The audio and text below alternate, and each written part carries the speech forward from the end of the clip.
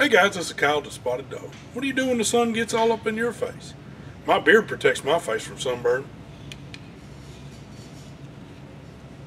But if your beard isn't as great as mine, maybe you should come down to Spotted Dog get yourself one of these Calcutta fishing hats. Only at the Spotted Dog.